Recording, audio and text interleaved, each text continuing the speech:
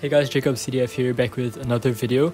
And in today's video, we'll be talking about how you can prepare for NUS Computer Science in 2024 or whenever you're watching this video. So just a little bit of background of myself before we dive into the details. My name is Jacob, I'm a year 2 student, I'm studying business and computer science, double degree. And I came into NUS with no coding experience whatsoever.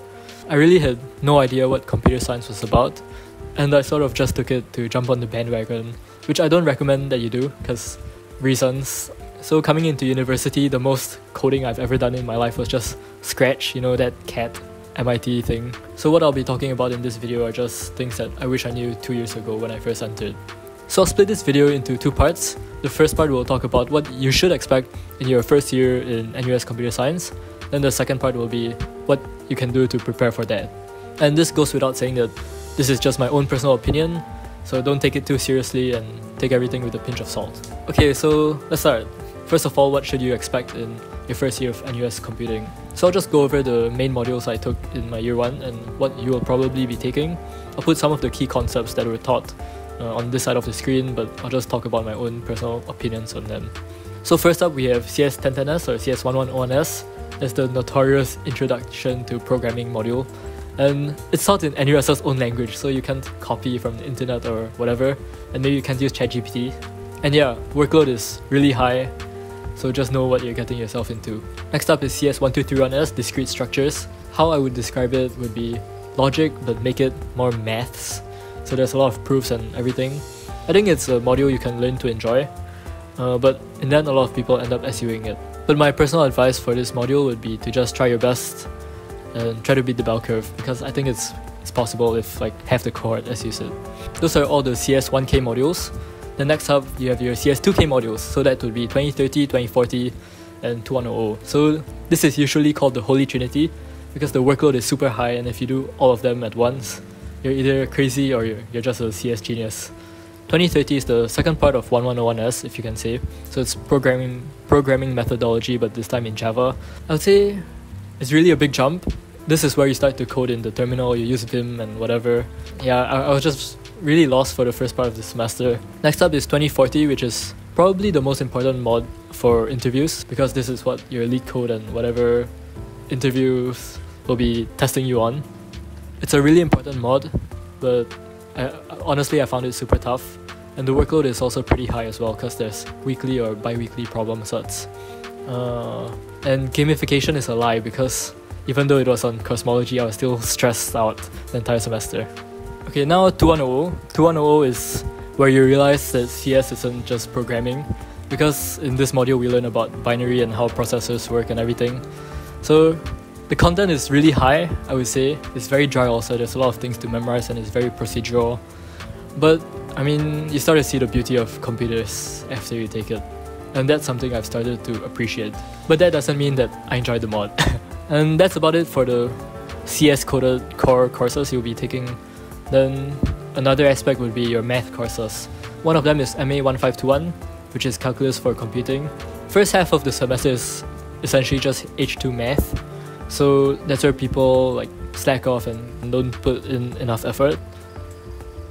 And then the second half is where it gets tough and just be prepared for that and try to keep up with all the content.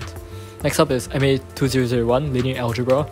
Um, it's one of the modules I took in year one that I, I'm still not very confident in, honestly, uh, because everything is very abstract and it's very, and I find it hard to visualize. So I think your best friend here would be to go on YouTube and try to watch other explanations of it because sometimes how the prof explains it in the lectures may not be clear enough for you.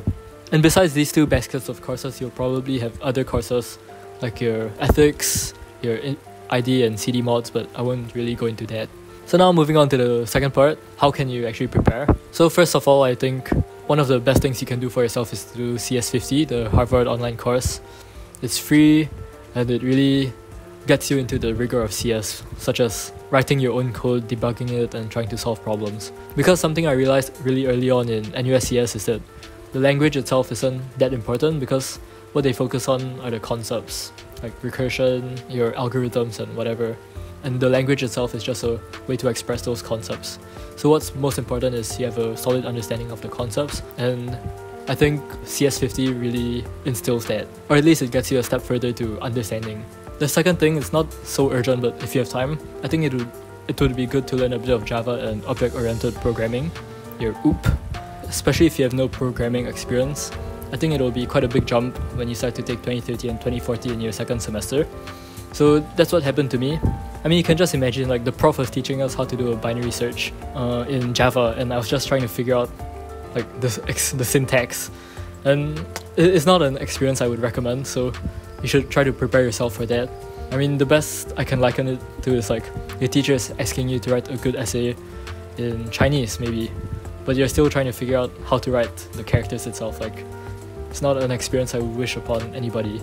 And I think if you do these two things, you'll probably smoothen your transition into NUS computer science quite a bit. Those are some things that I wish I did.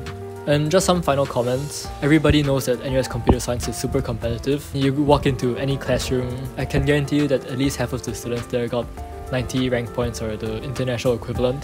And something I, I realized early on, but I'm only starting to internalize it right now, is that the grades in CS really aren't that important. I mean, statistically, you're graded on a bell curve, I think.